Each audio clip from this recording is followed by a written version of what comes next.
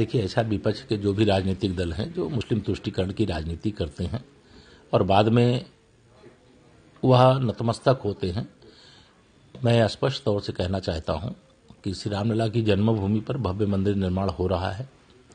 बाबा विश्वनाथ मंदिर का भव्य कॉरिडोर बन रहा है काशी में, और मथुरा में श्री कृष्ण की जन्मभूमि पर भव्य मंदिर बने, यह हर श्री कृष्ण जी के भक्त की इच्छा है आकांक्षा है मैं भी उस भाव को ही प्रकट किया हूँ। लेकिन मैं श्री अखिलेश यादव जी और उन विपक्षी नेताओं से पूछना चाहता हूँ। बताएँ क्या श्री कृष्ण जन्मभूमि पर और भगवान श्री कृष्ण का भव्य मंदिर बनने का विरोध करते हैं कि समर्थन करते हैं?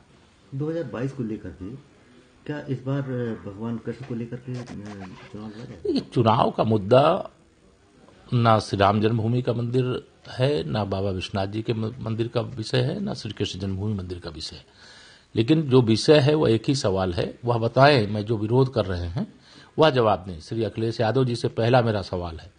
वो बताएँ कि कहते हैं कि मैं कृष्ण भक्त हूँ, मैं राम भक्त हूँ, मैं शिव भक्त हूँ, मैं गंगा भक्त हूँ।